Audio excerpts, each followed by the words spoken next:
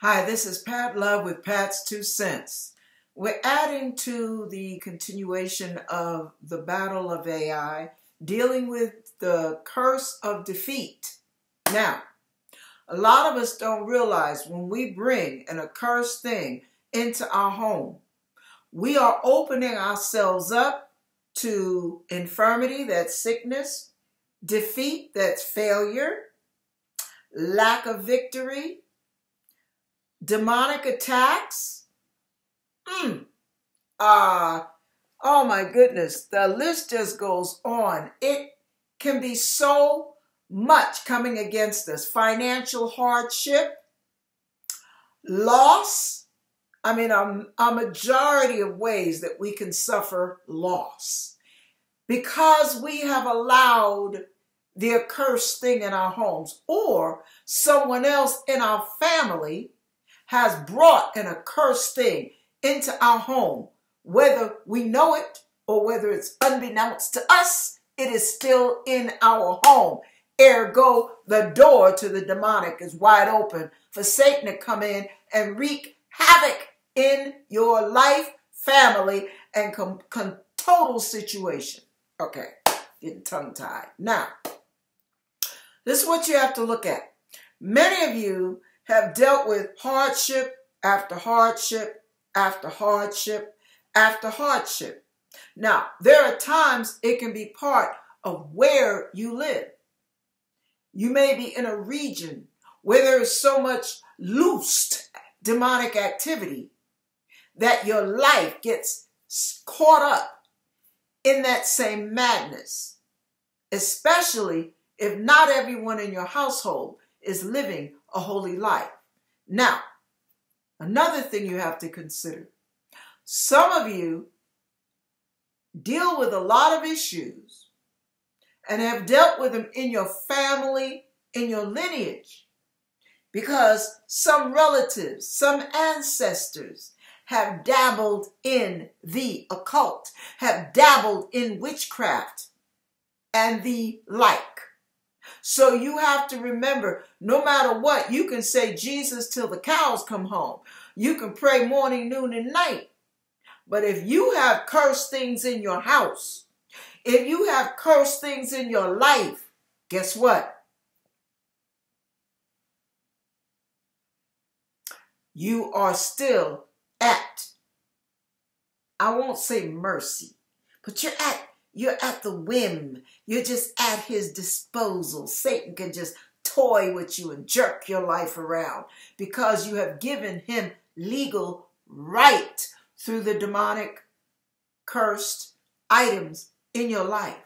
It can be cursed forms of entertainment in your life. That's why I won't watch things like Harry Potter. I won't watch demonic movies, movies that glorify Satan. No, no, no, no, I don't mess with that. Because I don't want anything demonic, not even getting into my ear gate, eye gate. I don't want to, I don't want to be around it. I don't want to be around Satan's atmosphere. That's not me. No, no. I'm about the Lord. I'm about God. And he's about me. And I'm not concerned. I don't want to be bothered with anything dark or evil. So listen to this. When you're going through changes and just things seem to be beating at you and you're having demonic dreams and you're having demonic thoughts and you're having all kind of temptations and things are just breaking loose and you're just losing control, just wreaking havoc in your life, and you can't figure out what's the source, go through your house. First of all, the first thing you do is sit down. This is those of you who are born again Christians. Sit down and ask God to do a reassessment of your life. That's number one. Ask Him if you, your attitude, your thought processes, your emotions, your words have opened the door. As Lucita said in the previous video, you cannot bless with a filthy mouth. You hear me? God says in, in, in the book of James, chapter 3, that bitter water and sweet water cannot come from the same source. It's impossible. Blessing and cursing should not come out of the same mouth. So you have to really watch what you allow, the little liberties, the little rights you think you have a right to do. You you are sometimes, you know, the Bible says we are called unto liberty, but don't use liberty for an occasion to the flesh. And sometimes when we allow the flesh to reign, rule, and abide, we are allowing the devil to come in and play all kind of little games on our lives. So you have to be very, very careful. This is not a fear mongering uh, video. This is a warning. Because you cannot play with darkness and expect God to shed his light on your life. It's not going to happen. He will not commingle with evil of any form. The sad part is there are too many born again Christians who are willing to do just that. They are willing to commingle because their flesh is titillated by some of the evil they engage in. Hmm, hmm, think about it.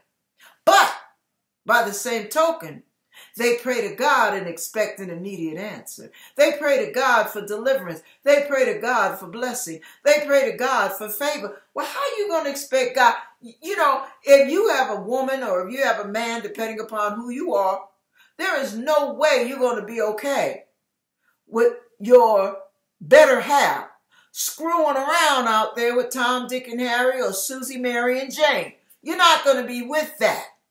But guess what? You expect God to do it. Not all of you, not all of you, not all.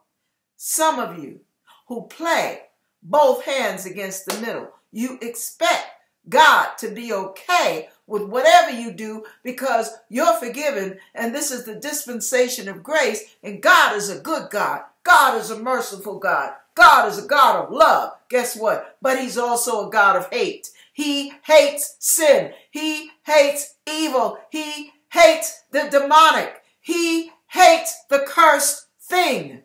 And just like he punished Achan in Joshua chapter 7, he punished them. He not only punished them, he destroyed them and the accursed things. The cursed things he destroyed with fire. Now, if God does it, what makes you think it's okay now? Because you have Jesus. Jesus said, I am the fulfillment of the Lord. He's not scratching it off the map, He's the fulfillment of it. And if God doesn't want the accursed thing in your life, what makes you think it's okay? Because you have a Savior. Huh. Okay, now, all I want to say is this I'm going to try to keep this short. Those of you who where hell is breaking loose in your family, let's say. Whether it be your family members, your family affairs, whatever the case may be. Do an assessment of your life. That's number one. Your attitude. Have you chosen not to forgive? Have you chosen to keep your bitterness? Have you chosen to live a life of anger, wrath, and spite? What have you chosen to do? Or have you chosen God's way? Now, if you've chosen God's way and you're living it out in every way, shape, and form, then check your house. Check your house out and go through with a fine tooth comb.